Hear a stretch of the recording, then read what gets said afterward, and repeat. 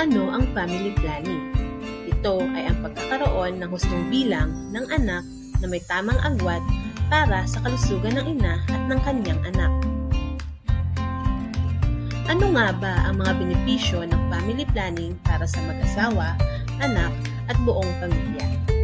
Una, ang pagkakaroon ng sapat na panahon para sa isa't isa. Maaalagaan ng maayos ang mga anak. Para sa mga inang kapapanganak pa lamang, panunumbalik ng lakas at pagbuti ng kalusugan. Makabawi ng lakas ng katawan na nawala dulot ng pagbubuntis at panganak. Mas magaan na responsibilidad at pagkakataong makapag-ipon at maginhawang buhay. Matutugunan ang pangangailangang pangkalusugan, ang edukasyon, pagkain, at iba pa. Modernong paraan sa family planning. Una ay ang pills. Ang birth control pills ay iniinom araw-araw. Naglalaman ito ng mga hormone na tumitigil sa katawan ng babae labas ng itlog bawat buwan.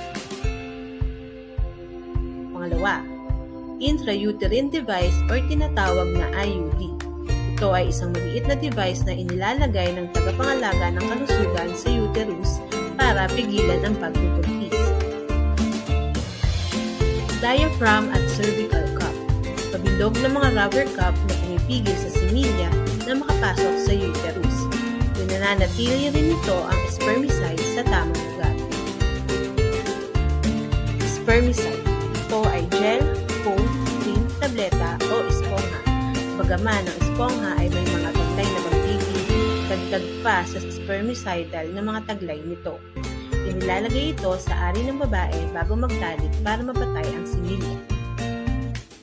Condom ay isang manipis na supot na kasya sa ari ng lalaki. Ang kondom na pambabae ay kasya sa loob ng ari ng babae. Sinasagap ng kondom ang mga similya na lumalabas sa ari ng lalaki sa panahon ng pagtatali. Permanenteng paraan sa family planning. Una ang sterilization sa lalaki or vasectomy. Ito ay operasyon na tinatalian o pinuputol ang mga tube sa bayag. Ginagawa ito para hindi makalabas ang similya kapag nilabasan ang lalaki. Sterilization sa babae. Ito ay isang operasyon para harangan o putulin ang mga fallopian tube ng babae. Pwede itong gawin sa pamamagitan ng paglalagay ng tool sa loob ng uterus. Ginagawa ito para maglagay ng maliit na mga coil sa loob ng mga fallopian tube.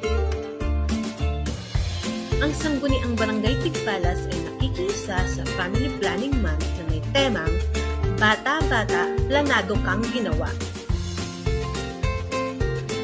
Kami ay nagkandak ng house-to-house for family planning.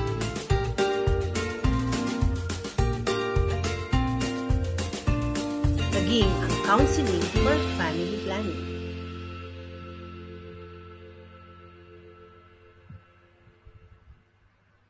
Thank you!